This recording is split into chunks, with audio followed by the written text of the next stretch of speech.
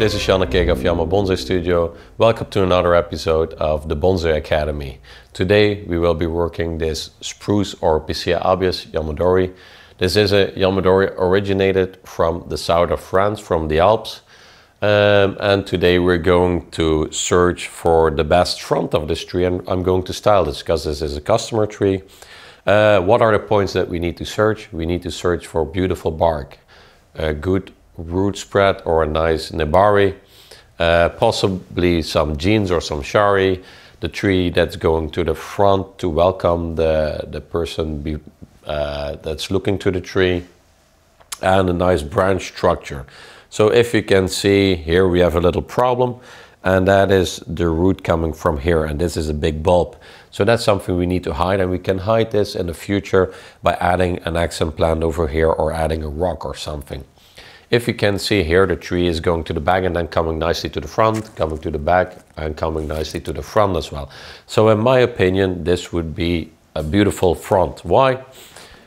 because of the position of the tree, because of the beautiful movement, because of the wide base, because of the shari over here that you can see and this, these nice jins, and because of the branch position. Because here we can have a nice first branch, one over here, one over here, back branch over here. So this will more or less will be the front of this tree. So we have chosen the front of this tree and it will be more or less around there. So then we will start with the branch structure and we have a beautiful first branch alienating from there. Uh, so we need to decide now which we're going to wire together with each other. So first I wire the primary branches and this one is the same size as this one more or less. And with copper we need to use one fourth of the thickness of the branch. So I have these, uh, this five uh, size, five uh, millimeter in size that I can use for this branch and this branch to wire together. Very important to, to uh, when you wire is to have tension. So if I'm going to wire this one uh, clockwise, then I need to wire this one uh, counterclockwise to create tension because then we can wire this branch into a beautiful shape. And also when you wire, try to wire 45 degrees or more because that will look much better and will be easier to wire and to bend the branch. So we will start, I always start by measuring how much we need and then I can cut it off. Very important is always to start with your anchor point first. So always wire at the shoulder, never at the armpit of the branch as I call it.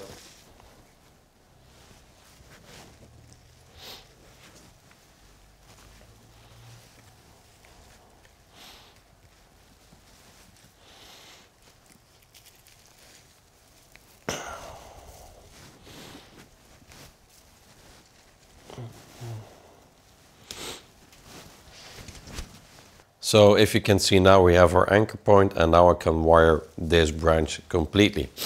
Always when you have to have your hand here to follow the branch and for the safety of the branch and try to take your wire as far as possible and try to wire with your index finger.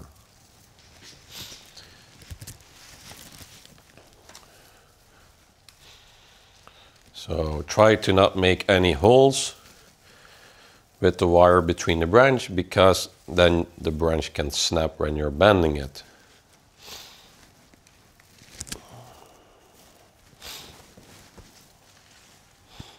And as I told you, try to wire 45 degrees or even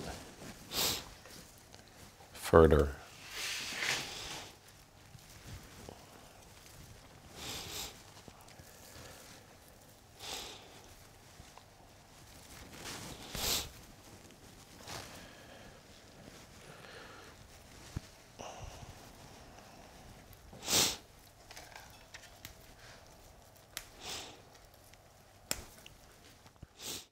top now, or the apex. Uh, as you can see, the tree is a little bit too high, so we're going to try to compact it a little bit more. So what we can do is we can use a guy wire. Uh, we're going to attach it somewhere around here. And then we can use this jin.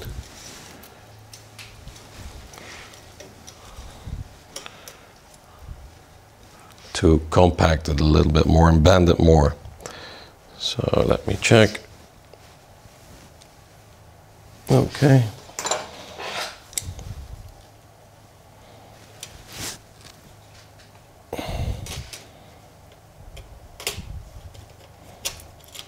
Oh. Errors.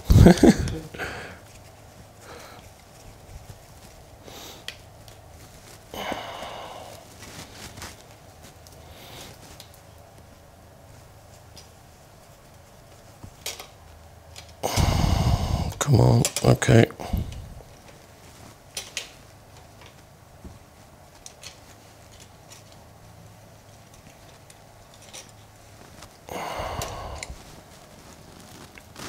Okay.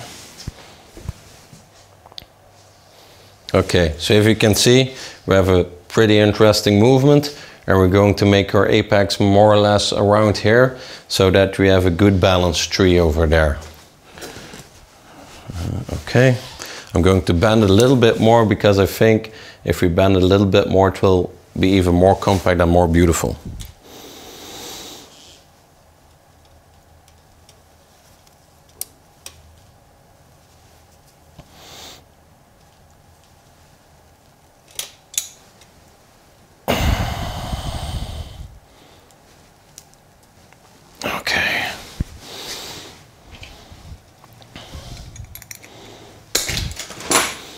Going to make it a little bit more proper and more beautiful by winding this up.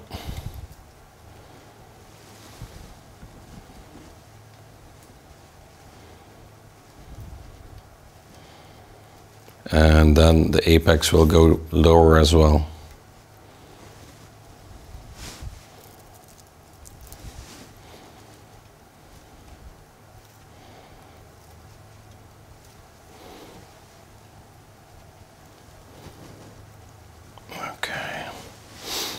Now we can wire these branches a little bit more out, spread our apex over here, and we have a beautiful tree.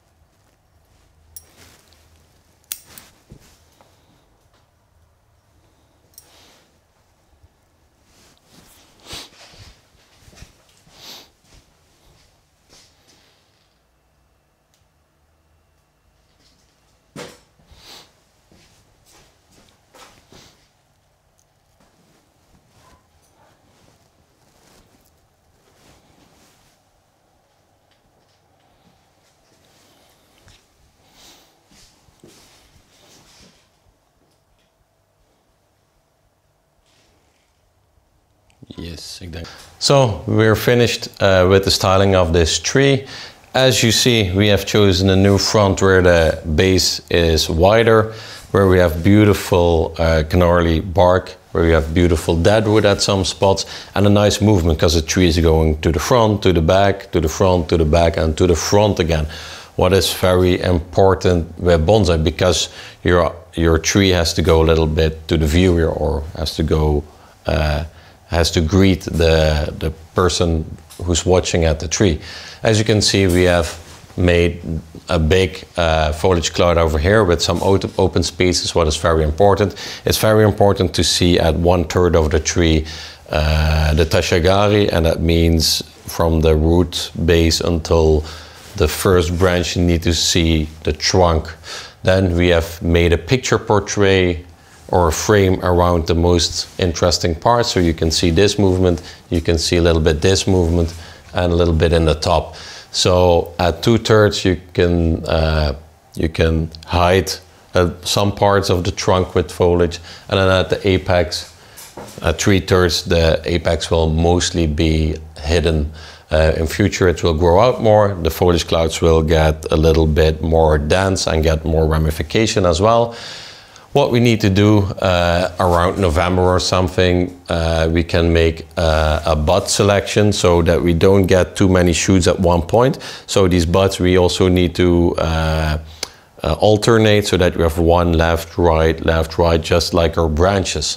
Why is this important? Because otherwise we don't get any taper and taper is very important. So we created taper in this trunk as well, what's very important, and we created balance in the tree.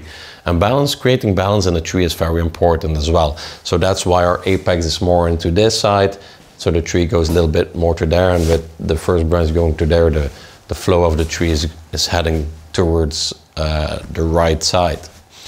So what was also quite important was that we think this beautiful branch needs to be visible a little bit because it has some nice movement into it and then uh, spread all those branches out. Uh, very important after working on this tree is that you spray water on the foliage because our hands have uh, acids and salts, what's not very healthy for this tree. So every time when you work on a spruce, it's very important that you water the foliage mass of the tree. Also water the tree because these trees, they like moist. They like to be in full sun, they like to be moist, moist so that's very important.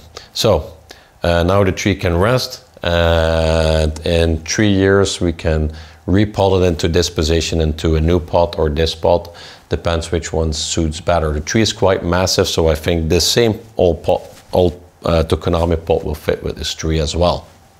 Um, that's it for now. Next year uh, we can break the new shoots or pinch the new shoots a little bit to get more ramification to create more dense foliage clouds as well uh, or what you also can do is you let these shoots grow until five centimeters and then you cut back until two buds of the new growth.